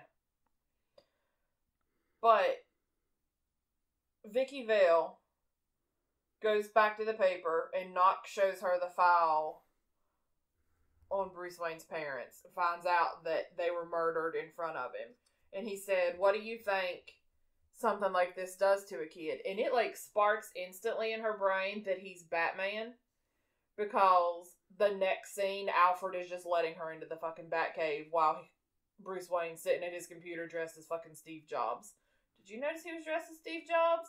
He had on like the light colored jeans and a black turtleneck, and I was just Do you- little little round glasses. Do you think that she knew immediately, or do you think that. Alfred knew he needed to? I think she knew because she didn't seem surprised. Because he Knox said, "What do you think something like this does to a little boy or to a kid?" And she was like, "I gotta go." And then the next scene is Alfred mm. letting her into the I, Batcave. I didn't really catch that. I just thought Alfred was like, "Okay, it's time. I'm pulling the plug." Um. And she's like, "Why won't you let me in?" Blah blah blah. And He said she got in. she got it. He, to his credit, he was at her apartment trying to tell her. But this is a secret he's keep he's But- kept from everybody else. It was hard. I don't know that he has because in the sequel he tries to tell the next bitch too. So she was like, "Why? Why do you have to do this?" And he was like, "Because nobody else can." And that goes kind of in with his character that he he's not just the kind of person that ha- has had everything and has had all this money. He doesn't act like a person that everything's been handed to him. He definitely appreciates what he does have and what he can do for other people. And when he said because nobody else can, and he's the only person that has that much money to Right. do whatever the hell he wants, and he's decided to do good with it, hmm I feel like he's a good a good role model for that. So She then, said, "Can we love each other?" And he said, "I would like to try, but right now the Joker's on the loose and I got to go to work." Which promptly cuts to him in the Batmobile. So you think to the Batmobile, driving into Axis Chemicals. It shields up. It drops a bomb. It drives away and blows up like eight or nine henchmen. And then the Joker copter's hovering over, is like, "Oh, you miss me, bitch." do you do you think Teslas have like a an autopilot blow up building feature? I don't know. Like, Do you remember that night I picked you up from work and you were you were almost to the car, so I just turned the headlights on and drove slowly up to you. And one of the guys you worked with was like, "Holy shit, your car comes to you, Jesus Christ!" yeah, it was great. It's like, no, dude, fucking Sarah took my car. She He was- driving. he was so disappointed that it was you driving it. It Like he was just like, oh, that. Like he was so excited for that to be a reality. like if the Dodge Durango did that, don't you think you would have seen a commercial, oh yeah. a press clipping? like,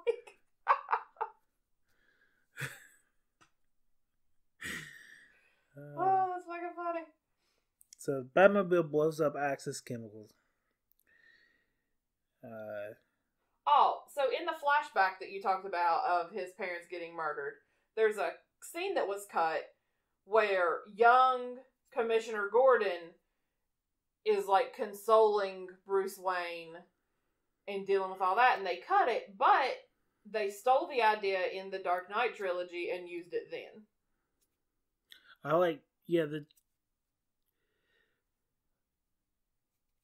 I never, I don't really remember Commissioner Gordon from this movie, and I know why now because he wasn't Memorable as he wasn't as front row as he was in all the other ones. Right. or everything else. Because in everything else, Commissioner Gordon and Batman work together. Right.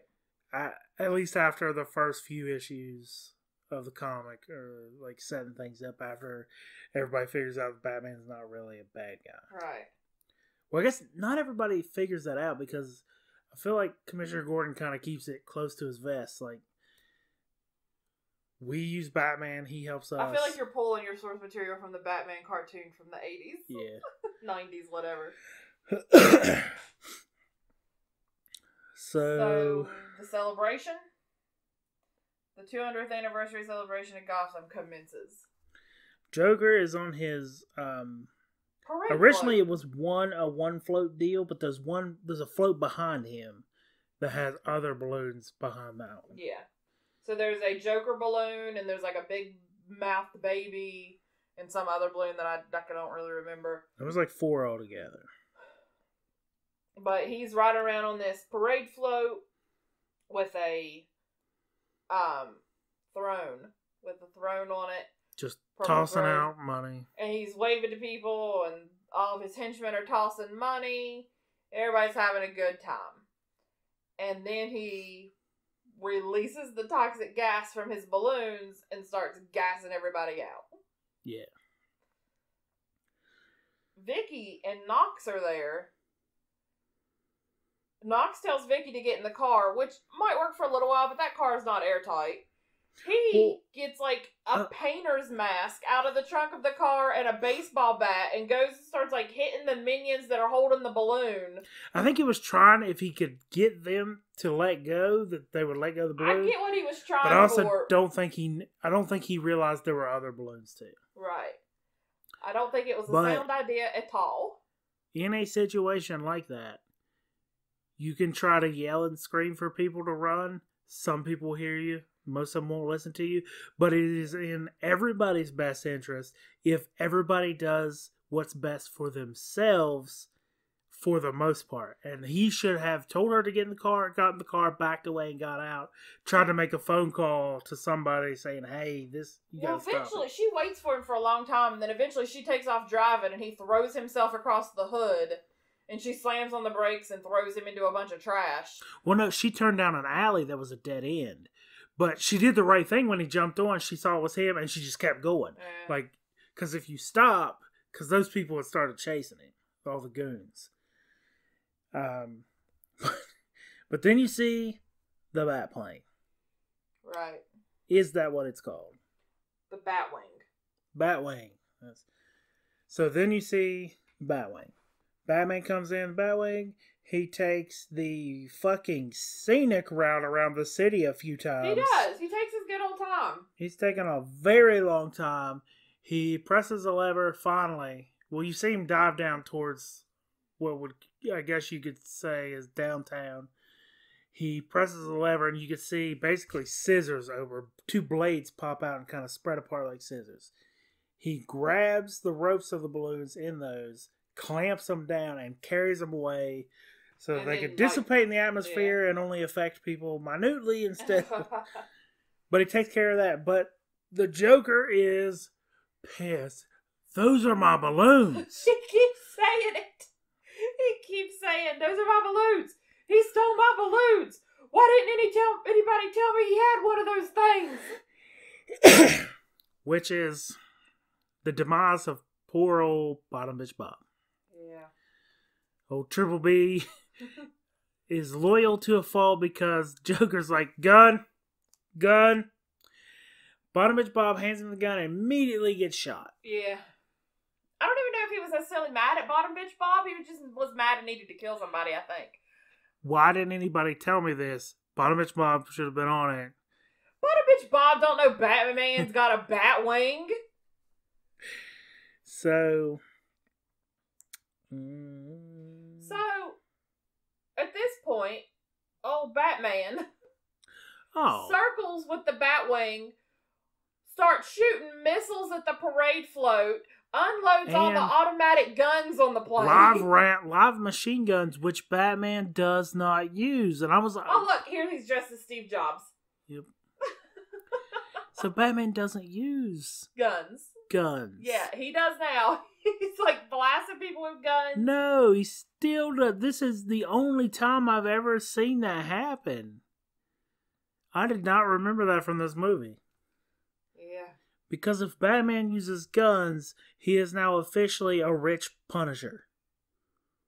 Which technically is one of my favorite ones because he's angry and he kills people that deserve to die. Now, so it has always been my understanding that Batman doesn't kill. Yes. Like that's always Yeah. been his thing. If he can avoid it. says it a lot in like the 1960s show. Yeah, if he can avoid it, he will not. So it says Batman doesn't kill has become a contemporary comics mantra. His early canon betrays this with multiple examples of him murdering criminals, hailing from his very first issue. In 1939's Detective Comics number 27, during his very first appearance, Batman kicks a man into a vat of acid and calls it a fitting end. This bit was famously redesigned in The Killing Joke to explain the origins of the Joker, and of course, from in this movie. And then it says in Detective Comics number 29, Batman kills his first supervillain known as Dr. Death by trapping him in a burning building and chillingly stated death to Dr. Death. So he kills a few times. And then it says the origin of the Batman no killing rule. Um, the first issue we could find where Batman states he never kills is Batman number 4, which was released in the series Winter issue in 1941. He makes a statement which would define the rest of his career during a fight with some nefarious pirates in the story Blackbeard's Crew and the Yacht Society. The exact wording is pretty interesting. Use only the flat of your sword, Robin. Remember, we never kill with weapons of any kind. Apparently, they said that the whole moral climate changed in 1940 to 1941. You couldn't shoot or kill any shoot or kill villains anymore. DC prepared its own comic code, with each artist and writer had to follow.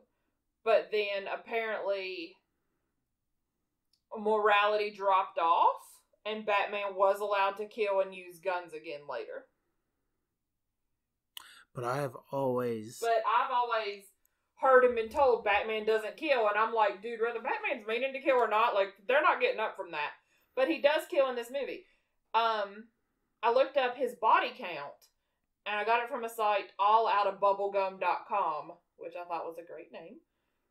Batman has a body count of 18 people in this movie. Are you sure?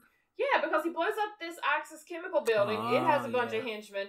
He blows up something else. It had a bunch of henchmen. He kills the Joker, and he tosses a guy down a stairwell, hallway, bell tower thing here in a little bit. Yeah. Yeah, he kills. It says Batman kills 18 people, and the Joker killed 33. Sometimes you just got to take the lesser of two evils. Yeah. I always thought it'd be cooler if Batman did use guns and did kill the people who deserved it. It was much later in life that I discovered the Punisher, and I was like, "This, this is the dude. This is Batman with guns. This is poor Batman with guns." Well, Nolan was asked about like why is Batman clearly killing people in your stories, and he's like, "Who the fuck cares?" like he got real mad about. it. He's like, "Who the fuck said Batman doesn't kill? Like I don't know where you're getting this shit. That's stupid. Of course he fucking kills. But no, he doesn't. That's always been my belief too, but apparently he does. So he shoots these missiles and these guns at Joker. He somehow misses with all of them, and Joker pulls this gun out of his pants that takes up the entire length of his pant leg, lines up, takes one shot, and like kills the Batwing. Like, bitch, that thing looks like it's got more armor on it than like military aircraft do now. But one shot from this souped up handgun takes it all the way down. Yeah, I thought, I thought that was a little weird. Yeah, it was a problem. So Vicki Vale runs up and starts searching the wreckage of the Batwing, looking for Bruce Wayne. But the Joker holds that giant fucking gun to her head and kind of kidnaps her. It Was like, I have to get you to the cathedral on time, and calls somebody who's like, pick us up in five minutes. And then Batman starts to get out, and he's like, ah, better make it ten. No, no, no. He Batman didn't get out till after they already went in. He looked up, saw how far they were gonna have to climb Oh, up, Excuse me. and was like, "Yeah, um, I haven't been working out, so let's." okay. The so Batman then Batman up. crawls out. So they're climbing the stairs of this cathedral, basically the bell tower. Mhm. Um, goes on forever. It's a long way up. Just go ahead and kill my ass. Shit. I ain't making it. Uh, Batman trudges his way up there. They finally get to the top. Bitch is losing shoes and jackets and shit. Like, like here when they do the searchlights in some places you could tell it's animated I don't think it's animated. especially when they do the I think, cathedral I think you're wrong about this because they said, Like they spent five million dollars making this thing so that all the effects could be practical. Why would they cheap out on a spotlight? Like that's the easiest thing in the world to do. I'm telling you. Some I'm telling you, you're wrong. I might be wrong about the spotlight, but there are some parts that are animated. So they go up the cathedral bell tower steps. Uh, they get to the top. Batman follows him. He finally gets to the top. Joker says something about wanting to dance. He's dancing with Vicki. Who I guess she's just tired, but she looks absolutely drugged Yeah. out. But the first goon that comes after Batman and does all this, Weird karate flippy. Like a bunch of showing off bullshit, and Batman, like, nut shots him, gets rid of him. Right.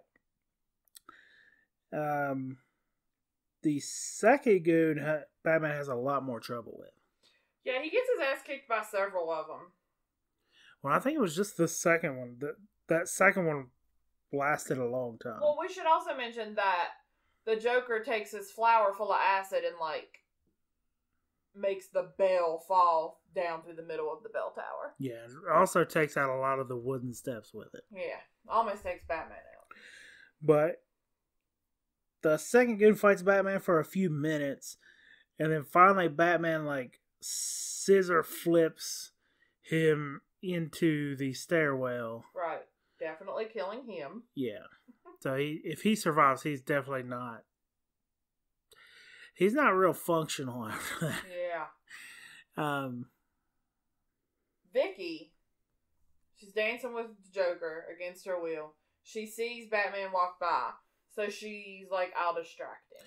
So Yeah, she, she- starts kind of playing a log, and she played along too hard. she though. did. She did play She- along too she hard. did- She made she changed quick, but he Too quick. He seemed to be alright with it. She was like, "Oh, Joker, I I love." If I was the purple. Joker, I'd have been like, "What the fuck?" Purple's my favorite color, and then I think she kind of starts to go down on him, right? Because she just sinks down She to sinks her knees. down, But then goes away because that's when Batman steps up. I know, out. but she just sinks down to her knees, and for a second, it's just on his face, and this like ho ho ho, and then she runs away, and like Batman clobbers him. So you think the drapes match the curtains or the rug? Yeah, because penis is clown white. And his pubic hair is green. Yeah, Yeah. that's weird. Yeah. I bet somebody's made a porn like that. Oh yeah, I'm sure. Had to have. Um, I'm sure. So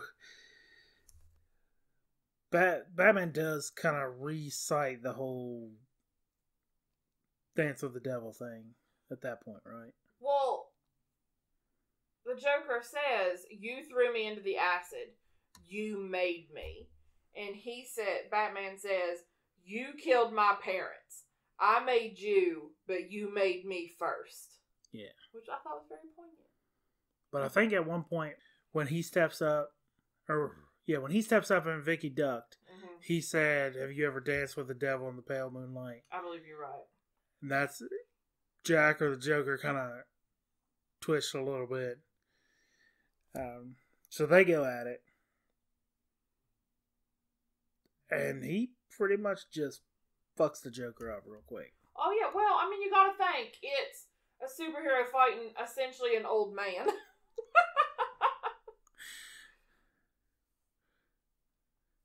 but somehow, and I don't exactly know how. How like I was writing, somehow Batman and Vicki Vale end up being the ones dangling from the edge. The last punch he he hits Joker a few times, and he finally he's like done with him. It launches him over the edge of the cathedral Mhm. rooftop. But the Joker had somehow managed to grab hold of something. And when they look over, Joker grabs both of them and yanks them over. Right. So they fall to the ledge that he is standing on. That's kind of on the outside of the building, about six feet down from the rooftop. hmm Um, and he's just having a good old time stomping around, Yeah, fucking with Just- him. Messing with him. And he hands, he's like, "Let me here, let me lend you a hand," and reaches out towards Vicki. She grabs a fake hand and almost falls. Batman catches her, swoops, uses gravity and her kinetic energy, swoops her up to the other. And The Joker's cracking up at his own jokes. The Joker copter comes and lets down the ladder. The there is a rope ladder in almost all episodes of Batman from the sixties. Oh yeah, Like there's a rope ladder everywhere. yeah. But the ladder comes. He he like climbs up two or three rungs. Batman shoots something that wraps around his ankle, and he's swinging from this But it wraps around the ladder, so gargoyle. it keeps wrapping around the the, gargoyle. So eventually, the gargoyle breaks off, and it's just dangling from his foot. It's too heavy; he can't hold onto the ladder, and the Joker falls. Um, Batman and Vicki fall, and he grapples. does some grapples, and they end up swinging. It never really shows you how they get down, but mm. whatever. So it cuts to the city hall. There's a press conference. Crime in Gotham is over. We're all good now. We like Batman. Look, he gave us a signal. But when when before that, when the Joker was laying dead on the ground, he had that thing that was laughing. Who reaches in that crazy asshole's pocket? I am not reaching in his pocket. Yeah. Yeah, we're just gonna listen to him laugh until somebody in like a bomb suit gets here. So Batman gives him the bat signal. Yeah, he writes a letter to him and says, "If you ever need me again, just signal me," and gives them the the bat signal. Okay, do you want to take a stab at the? Tomatometer. What do you think its rating is? Public. Either one, both. I'm gonna say somewhere in the seventies. The Tomatometer. is seventy two, Ooh. but the audience score is eighty four. Ooh. I Crit- thought the critics would be lower and the audience high. It was. The audience score was eighty four, and the critics was seventy two. No, but I thought it- it would be lower than Oh. seventy. The, thought crit- the audience score would be. the critics' consensus was an eerie, haunting spectacle. Batman succeeds as dark entertainment, even if Jack Nicholson's Joker too often overshadows the title character. Now, I have a few reviews. I didn't screenshot this review at first, but all your points about Alfred, I had to go back just now and get it.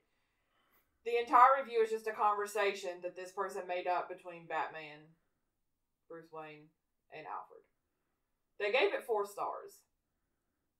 This is Alfred. Can you come here for a sec? Yes, Master Bruce. Did you let Vicki Vale in the Batcave? Like, you know I'm trying to maintain a secret identity here, right? I'm like, yes, Master Bruce. Kinda hard to do that when you let random women in here. Yes, Master Bruce. And this was after I told her we had to go out of town, and you immediately told her we weren't going out of town? How dumb do you have to be to make that mistake? Yes, Master Bruce. Look, I hate to do this. You're a good guy, and I really and you make a really good bowl of clam chowder. But I'm afraid I'm gonna have to let you go. But Master Bruce, no, get out, Alfred. Master Bruce, that might be unwise. Why is that, Alfred? I know things, Master Bruce. Things you wouldn't want people to know. Like, for example, when you drove the Batmobile into Axis Chemicals and blew it up with all of the Joker's thugs still inside. You must have murdered at least a dozen men in cold blood, Master Bruce. Commissioner Gordon would no doubt be interested in that inform- information. Alfred, I may have spoken too hastily. I agree, Master Bruce. I'll go put on the chowder. I don't really like their. I thought it was quite poignant, though. It hit on all of your issues. Mm, You were upset that he didn't have his bike. You were upset that he let her into the cave. I, You were upset no, I that wasn't. Batman killed people. I wasn't upset that he let her in the cave. I just figured Alfred thought it was time. I'm upset that Batman can't keep it in his pants. That every girl he has sex with, he's got to fucking tell he's Batman. I don't think you're upset that he can't keep it in his pants. You're upset that he just can't keep his identity secret. No, his dick comes out and he's like, I'm Batman. Maybe he wants to role play. Like, he's just gonna have to start straight jacking off if he can't keep his mouth shut. He gets off in them feelings. It's awful. Anyway, half a star. I'm sorry, but I don't understand how any idiot could like this film. This movie sucks because of one thing it's DC. All DC films suck, with the exception of Batman v Superman. Marvel makes good films. Marvel has never made a movie that wasn't Let me good. stop you right there. Pe- Batman versus Superman was a load of fucking garbage just because, oh, Martha, wh- what did you say? Are you talking about my mom? Like, no, motherfucker. Like, his mom. Talking about my mom! Like, we're, we're, your mom and Martha too? Dude, we're bros. Like, come on. People say Hulk isn't good, but it's Marvel, so it is. I'm sorry, all DC films suck. Sorry, 1 out of 10. So, Like, I If- also prefer Marvel to DC. When I'm rating that, I don't take Tim Burton's Batman and Joel Schum- Schumacher's into consideration. Oh, we're gonna watch him launch his ass down there. And I'm pretty sure it's one of the scenes where they animate the end of him They falling. do not animate anything. No, watch closely. Oh, you see Batman's shoes? Right. Maybe that wasn't. Anyway, I also like Marvel more than DC. But this guy's just got a real problem. And if you're going to say the exception is Batman versus Superman, your opinion no longer matters to me at all. When was this written? November 13th, 2017? When did Wonder Woman come out? After. Wonder Woman's the only DC movie that I was like, that's good. Now, I haven't seen Aquaman. Is there another one we haven't seen? Mm-mm. Um, but Batman vs. Superman was garbage. Yeah. Sorry if you like that movie, but Is it the one Dad keeps forgetting that he see he's seen? yeah, because it's and so then he'll watch it again. He's like, okay, no, that I do remember that. And then It's he's like, not worth seen remember- That. And he's like, oh yeah, no. I- It's I not worth remembering that." because basically, Oh no, no, it's not. It's Justice League that he had. He does that with. Oh yeah. Basically, they get into a, a fight because they don't communicate. It's like, dude, we're on the same side. They could have been like, dude, we're on the same side. I want to keep bad shit from happening. Oh, you want to keep bad shit from happening too? Oh, all right, dude, let's do it together. Like, it came down to fucking Batman saying Martha. Wonder Woman had to bring them together. And Superman being like, What'd you say? You talking about my mama? One star. Watch this movie if you want to study what peak white male power fantasy looks like. Not having grown up with it and watching it for the first time in 2019 from my current perspective as a local so- social justice warrior, this movie aged very poorly. I don't want to. Stop. Well, okay, before you continue with this, yeah. I want to I want to say I I feel like I'm middle of the road as far as political shit goes. People would probably put me in the liberal side. That's that's okay because I feel like I'm more liberal. I'm But pretty, fuck this lady, I'm pretty liberal. this Karen here. Like, it's a a fucking, it's a just a fucking movie. It's it's just a fucking movie based on a comic book. I spent a good third of the movie just being confused as to which character is who because it's all the same type of white old man, and I genuinely struggle to tell them apart, which, being a white person myself, is quite amusing. It just feels like you could assign any of the actors any other role in this movie and it would not have changed a thing. Female characters, all of which are the same blonde, blue eyed type of pretty, are pretty much only there to scream dramatically, faint, and thirst over Bruce Wayne, both as millionaire and as Batman. It's tiring to watch. I really did not like the Joker portrayal either, but that's probably more of a personal, I'm used to the later ones, and this one makes me uncomfortable thing rather than an objective problem. So Karen here. So All right, I need to back up. Um, Guys, I've Oh. 100% given him an aneurysm. He has not stopped holding his head and rubbing it. so Karen here is too fucking stupid to tell these people apart. I guess maybe the minor characters is what she's No, no, saying, no, like no, maybe no. like Gordon and the mayor. Oh, you mean the old fat Italian looking dude versus Knox, who is younger I don't know. I have no problem. and looks them apart. I nothing like Michael Keaton? I don't know, man. I don't know. And I'm And not trying to defend this you- person. I can you name- for this. can you name another female character? No. There wasn't one. There was just No. Kim Basinger as Vicki Vale. Right. That's why they all look the same, bitch. It's one person. Yeah, she's the only one. Now, she is also apparently a big fan of Interview with a Vampire because her, or his, I don't know, I'm going with her, username is Vampire Lestat. Were those books the same title? Yes. Would you like another one? I'm I'm still working through Karen here because I had something else. Okay. Like people need to fucking let go of it. It it is what it is. It's a movie based on a loosely based on a comic book. Like, look at this. Commissioner Gordon looks nothing like all the other white people because No. he's fat, old, and ugly, like all people get when they get old. Like they didn't even use a bunch of people from the same age group to make these people. Yeah. There's younger ones, there's older I ones, would there's say that all middle of the gangsters are pretty interchangeable, but they also die very quickly, so who cares? I don't think all the gangsters were interchangeable. But they also didn't. They were the didn't most tell anybody their Diverse group there. No, not his henchmen. Like the group of gangsters he tried to take over, and they were just like, "Ah, fuck it, I'm gonna kill him." Yeah, they were the most diverse group there. Eh. They had a lot They of They didn't even have names. Who cared? but yeah, you ready for another one? Yeah, it's One, got to be better than that one. eh. one star. Gave a half a star to this back in 2014 when I was in my peak superhero movies are dumb phase.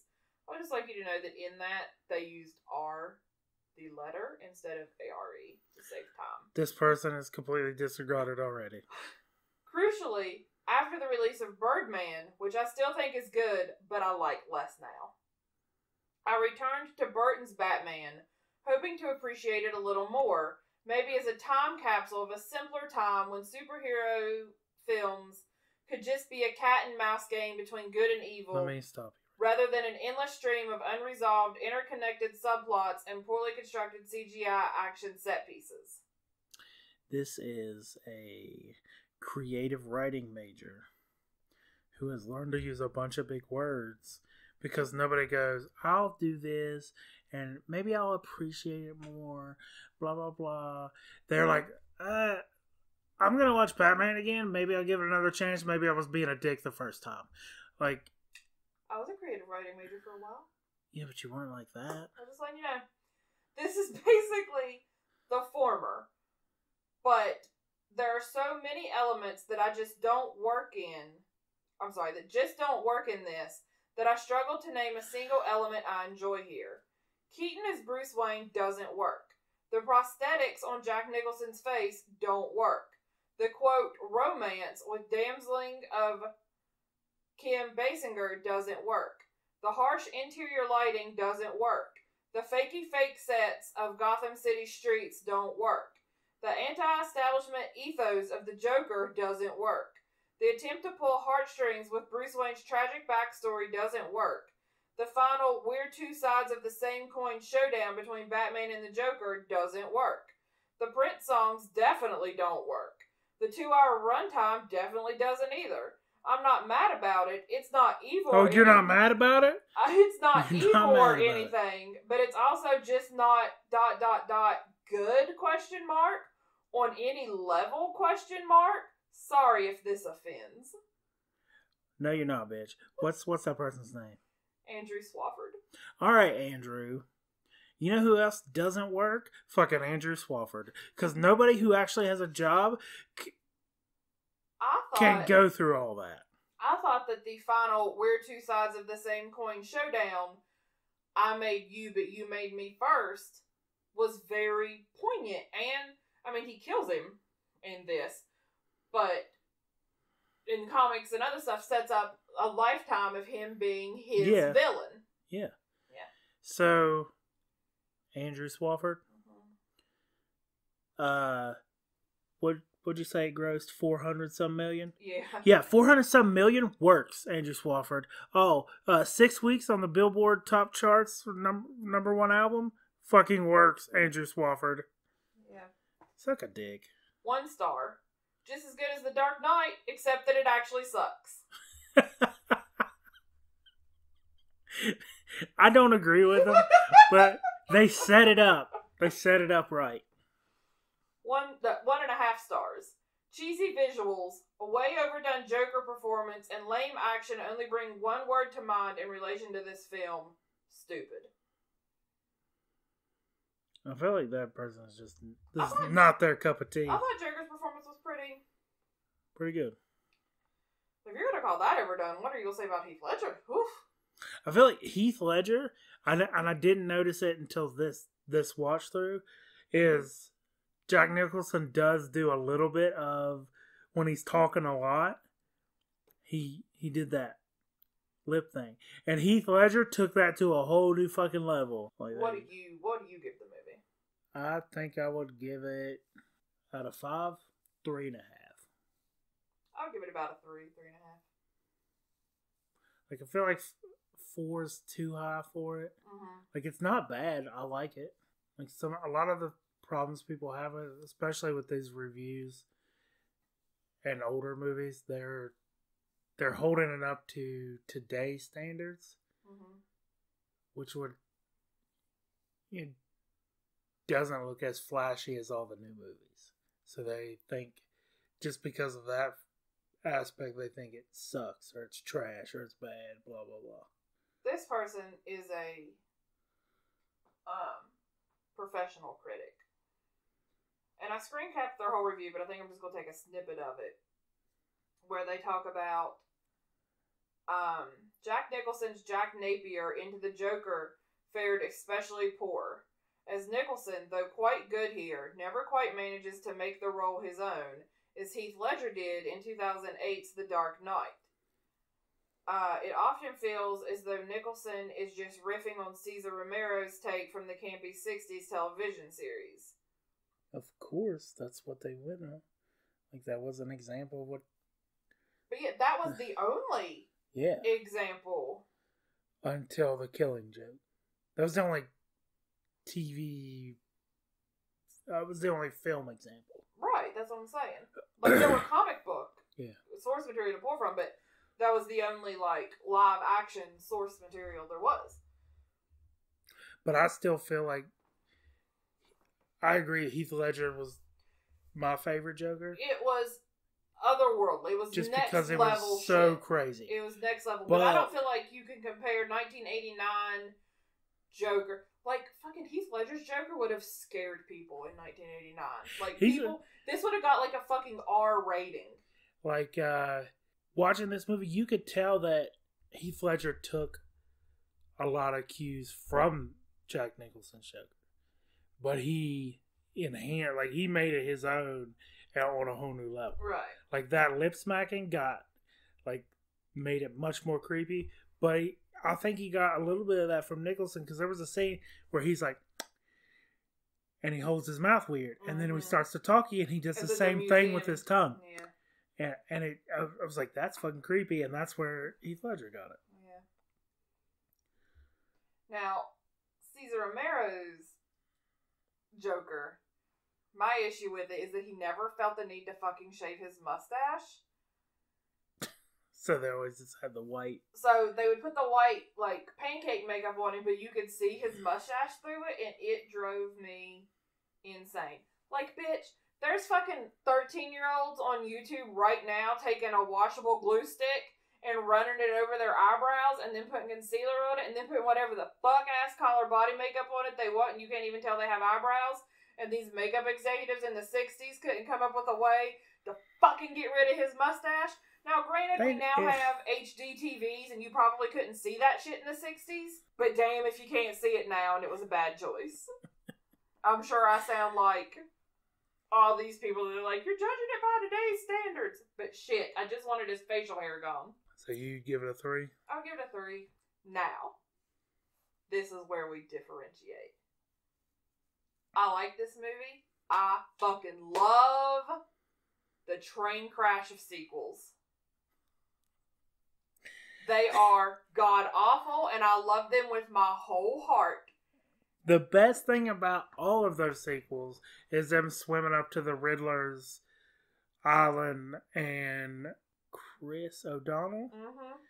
as Robin says, Holy Rusted Metal Batman. What? Holy Rusted Metal Batman.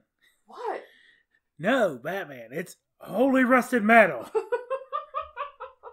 That's the the best part of the entire thing. Now, Robin was supposed to be in this film, and like he was in the first two scripts, there was a Robin, and they decided it was just too hard to work him in.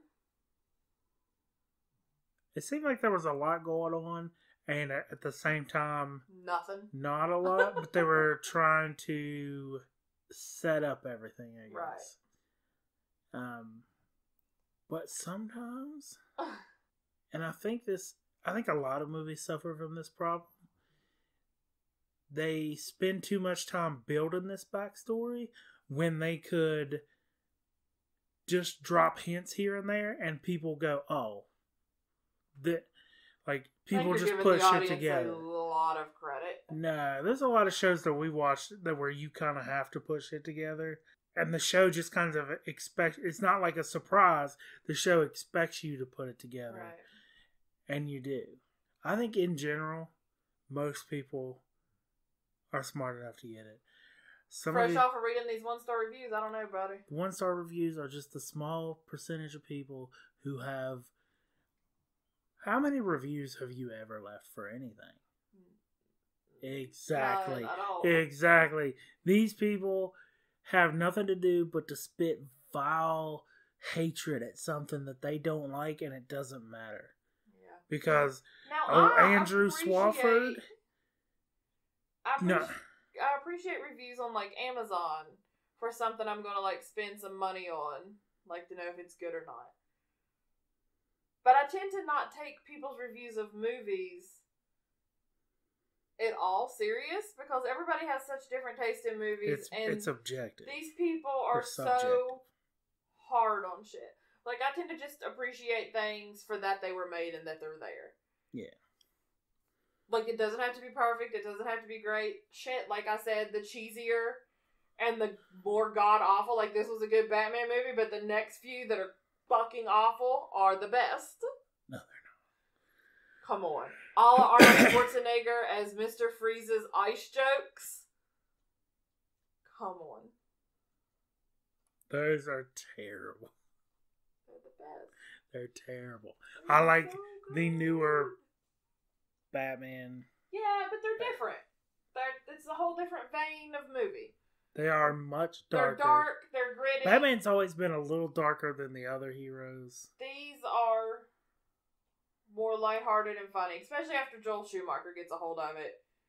Like Tim Burton does this one and the next one, they're kind of more dark and gritty, but then especially the next one with the penguin and oh god, it's it's kind of real dark and gritty. Like when he bites into that fish, like it, it makes me queasy. All right, we gonna wrap this up.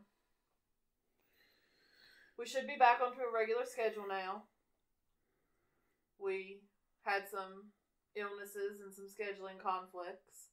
We had big plans for Christmas. It just didn't pan out quite right. Next year, Next year. There's always another Christmas, right? hopefully. So next week we're doing All right, so it's 2020, the whole new year, new you bullshit. Uh, we're gonna do heavyweights, thumbs up to Disney Plus. Disney Plus. I'm gonna shout out Disney Plus till they fucking give me a free subscription. It's not gonna happen, they wouldn't even know. Huh? They wouldn't even know. They wouldn't even notice. Anyway, Heavyweights is a great movie. It's funny.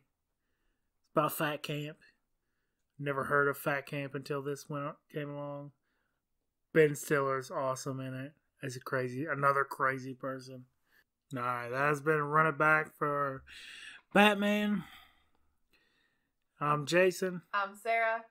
You can follow us on Instagram and Facebook at Run It Back Pod, on Twitter at Pod Run It Back, and today I created a TikTok account, Oh, which is at Run It Back Pod.